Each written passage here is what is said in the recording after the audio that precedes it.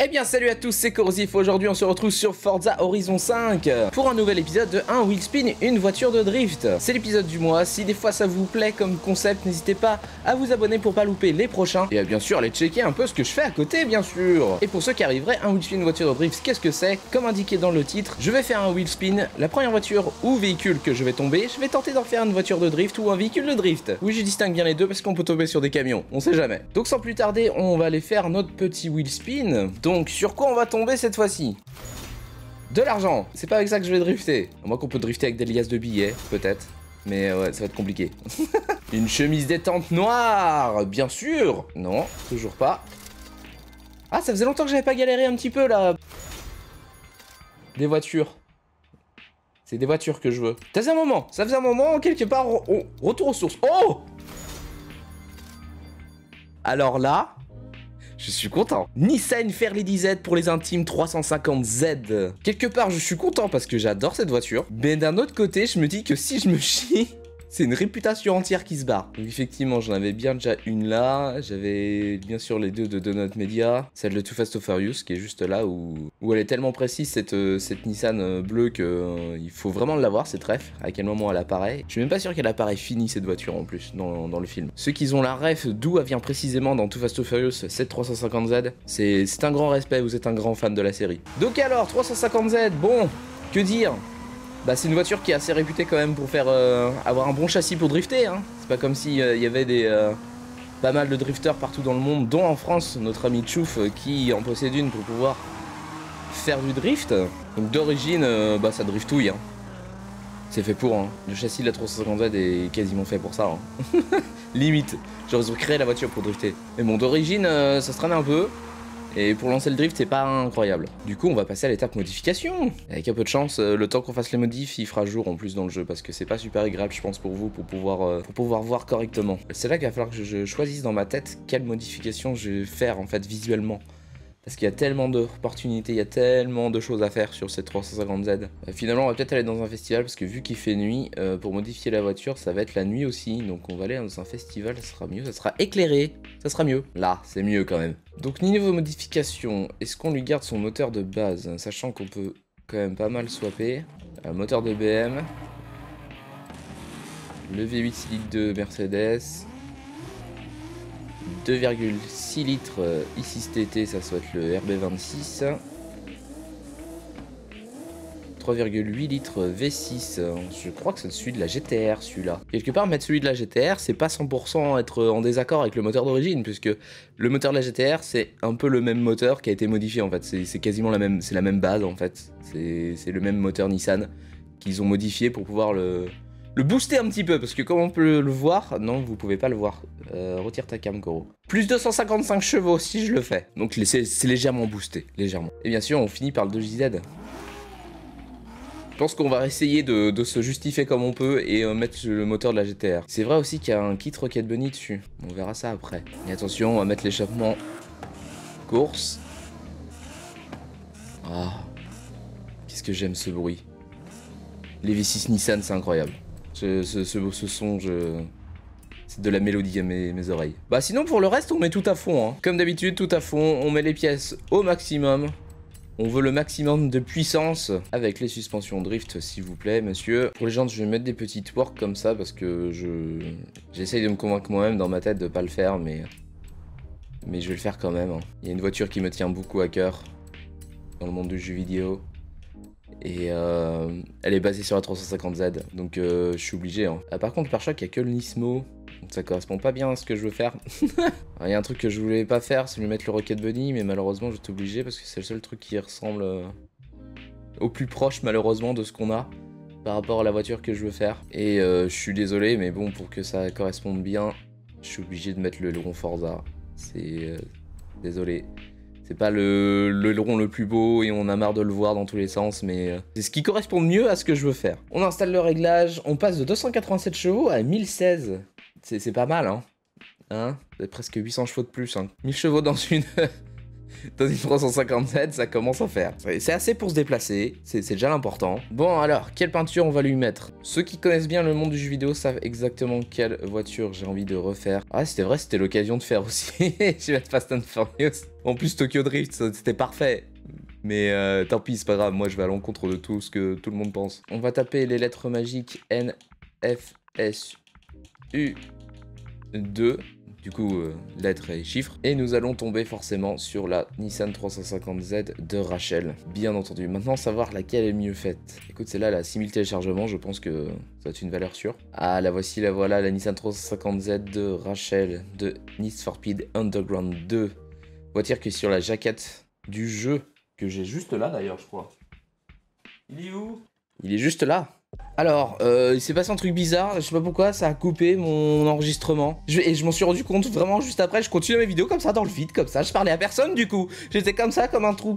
Hein? Euh, bah du coup, voilà, je vous présente la voiture de Rachel, la 357 de Rachel. J'ai fait mes petites modifications habituelles, c'est-à-dire que euh, j'étais euh, dans les réglages, j'ai monté un petit peu la pression de pneu parce que j'ai pensé que c'était un petit peu utile parce que les premiers drifts que j'ai fait n'était pas super concluant dans le sens où j'ai l'impression que ça grippait un peu plus. Donc j'ai monté un peu la pression des pneus, histoire que il y a un peu moins de grippe. Au niveau de l'alignement, euh, j'ai mis euh, l'arrière à moins 1 au niveau du carrossage. Après, j'ai rien touché. Puis après, j'étais euh, sur le petit freinage à 125% à l'arrière pour que ça freine à l'avant. C'est PT Forza, on aime ça. Mais la puissance de freinage, je l'ai mis à la pression à 130%. Et le différentiel, je l'ai mis en accélération décélération à 100%. C'est tout ce que j'ai fait comme modification après. Et après, ben, je commençais à drifter et à me dire, euh, bah, c'est pas si mal. Je la sens un peu lourde comme voiture. Par rapport à certaines autres voitures, effectivement, c'est vrai qu'elle se met un peu lourde. Mais ça reste largement faisable. C'est largement plus utilisable que certaines autres voitures. Là, j'ai quand même un bon feeling. Hein. Faut pas non plus exagérer. Mais c'est juste qu'il y a certaines voitures qui sont plus à l'aise. Voilà, faut le savoir. Après, je pense que ça dépend aussi surtout des personnes. Ça se trouve, il y en a qui adorent avoir ce feeling-là. Euh, pour drifter. Après chacun sa façon de drifter, moi je la trouve légèrement lourde mais c'est pas super gênant non plus. Donc euh, comme vous pouvez le voir, euh, bon ça, ça se fait bien hein sans problème. Je sais même pas si ça vaut le coup que j'aille drifter dans Guaranato. Je suis assez confiant, j'ai envie d'aller attaquer la montée du volcan direct en fait, hein, quasiment. Oh, ça se fait tranquillement. Hein. Ça va se faire tranquillement. Bon, il y a la zone de drift qui arrive. On va pouvoir se poser un petit peu. Juste là, comme d'habitude, on va partir d'ici. Donc, pour ceux qui ne savent pas, nous sommes là pour pouvoir comparer les voitures avec lesquelles on va tomber. Je vais faire euh, une montée du volcan en one shot, la première fois que je vais la faire. Je ne me suis pas entraîné avant. Et on va comparer le score que je vais faire avec les autres voitures que j'ai faites dans les épisodes précédents où j'ai fait totalement la même chose, c'est-à-dire la première fois que je driftais avec, tout ça. Et donc j'ai fait un petit tableau euh, de tout ça. Donc voici euh, les voitures qui sont passées dans un wheelspin, une voiture de drift. C'est là que je me rends compte que le 20, on est au 22e épisode et que bientôt il va falloir que je vais plus avoir de place, on va plus voir ce qu'on est en train de faire en fait. Et eh ben en fait vous voyez pas. Là Ben voilà, ça y est, il va falloir, va falloir faire de la place. Voilà, on peut plus. C'est fini. Le tableau commence à être trop grand. je pense qu'il va falloir que je l'organise sur deux lignes, histoire que ce soit plus lisible d'un seul coup. Bref, 22e épisode, la piscine Nissan 350Z, on lui mettra le score quand on pourra. Et voici le classement général. Le record ultime à battre, c'est bien sûr la Nissan Skyline HT 2000 GTR et qui n'a pas été battu quand même depuis euh, le troisième épisode de cette série. Nous sommes au 22e épisode, ça fait bientôt 20 épisodes que ne l'a pas été battu. Le top 3 n'a pas bougé depuis le 11e épisode, donc ça fait 11 euh, épisodes que la moitié de la série que ça n'a pas bougé le top 3. Donc est-ce que c'est Nissan 350Z va se classer euh, dans ce top 3, je ne sais pas, je vais faire de mon mieux, je ne promets rien, mais au moins j'espère faire au moins le million pour me glisser euh, quand même dans le top 10, euh, voire même dans le top 9, parce que le top 10 démarre quand même à 992 000. Sans plus attendre, on va essayer de faire un bon score, je pense que le million est largement atteignable. N'hésitez pas à faire vos pronostics dans les commentaires et à dire si vous aviez raison tout simplement. Et si des fois ça vous tente, n'hésitez pas à aller voir dans la description. Il y a le lien de la vidéo euh, sans coupure, sans montage, euh, de, la montée du volcan pour éventuellement pour ceux qui veulent voir euh, tous les ratés que je fais. entre autres, au niveau de ma parole. Et bien sûr, pour éventuellement, il y en a toujours un peu des sceptiques qui pensent que je triche à couper et à voir mon avantage. Mais non, la montée du volcan est là euh, en entière dans la description, n'hésitez pas à aller voir de votre côté. Donc, on est parti sur cette petite montée du volcan. On a quand même pas déjà pas mal entamé puisque nous sommes déjà à 230 000 points. Je, fais ronronner la quatrième, hein. mais euh, je sais que si je passe à cinquième... Ah, compliqué. Non, on va, tant pis, hein, je vais faire gueuler la voiture, mais bon ça va, je suis plutôt à l'aise euh, sur la montée pour l'instant. Ok, nous sommes à 400, presque 470 000 à la pelleteuse, ce qui n'est pas mauvais.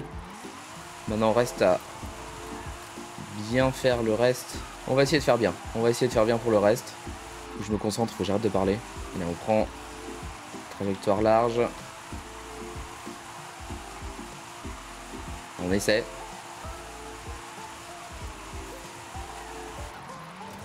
Allez, je tente la cinquième.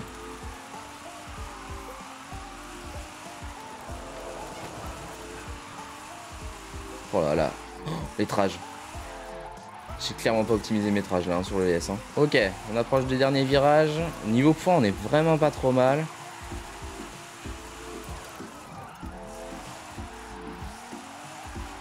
« 900 000 points. Oh mon dieu. Oh mon dieu 1 million 16 000 Oh j'y ai cru encore Oh j'ai cru encore Ah, il y a mon cœur qui a fait des trucs Ça commence à s'accélérer avant toi Je vais aller voir quel point j'ai fait exactement. Bon, je me remets mes émotions. J'ai le score 1 16 606 points.